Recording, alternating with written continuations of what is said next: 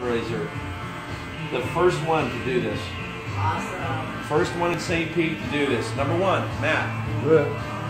Number There, one, Matt. Ricky Bobby said it best. If you ain't first, you last. Matt's first. That's the first guy for St. Baldrick's Children Cancer Fundraiser 2017.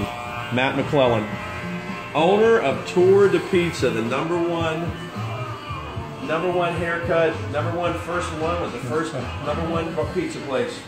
Number one pie in the county.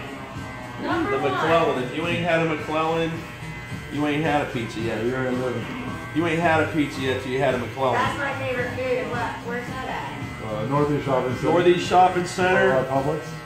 Been there, been there a decade. He's been there a Oh, I've decade. been there. Right like that, right man. In in the the corner. Yeah, He's been there a whole decade. I do. Oh, cool. He's been there 10 years. He's been there one decade.